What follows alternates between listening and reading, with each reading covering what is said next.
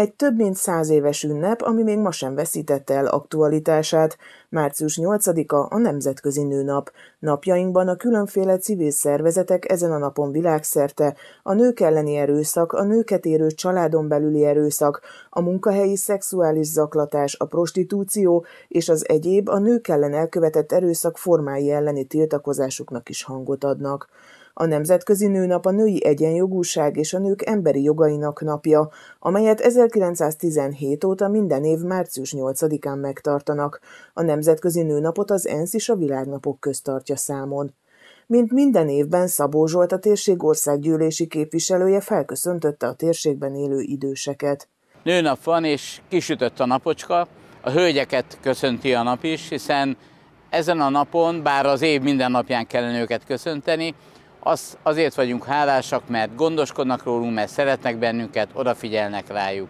Én arra biztatom férfi társaimat, hogy köszöntsék őket, hiszen ők egész életükben tanítanak, szeretnek, támogatnak bennünket, és nagyon fontos, hogy ott vannak körülöttünk. Hölgyek nélkül élni lehet, de nem érdemes, ezt ne felejtsük el, ezért egy kicsit udvaroljunk nekik minden nap, mosolyogjunk rájuk, nagyon jó egészséget és sok boldogságot kívánok minden hölgynek. Szabó Zsolt többek között a Zagyva Szántói, a Zaránki, a Lőrinci, a Rózsa Mártoni, a Csányi és a Vámos Györki idős otthonba is ellátogatott, de idős klubok tagjait is felköszöntötte. Ez az egyik legszebb ünnepünk, hiszen mosoly, kedvesség, jókedv, tavasz, tehát csupa olyan élmény, amit úgy gondolom, hogy minket a hölgyekhez kötnek. A játszintot hoztam, a játszint az egyik legszebb tavaszi virág számomra, nagyon jó az illata, ne felejtsük el, gyönyörűek a színei, és hát gyönyörű a kertben, hiszen minden évben, minden tavasszal kihajt, és mindig hozza nekünk a megújulást, a tavasz érzetét, mint ahogy a hölgyek is állandóan a tavaszt, a megújulást hozzák nekünk.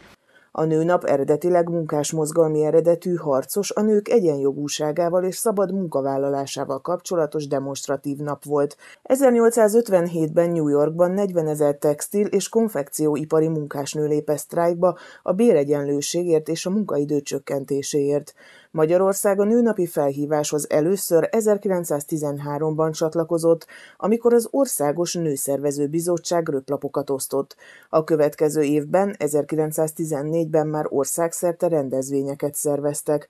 A Rákosi korszakban a nőnap ünneplése kötelezővé vált, és az eredetileg különböző időpontokban rendezett nőnapot 1948-tól szovjet mintára március 8-án tartották meg.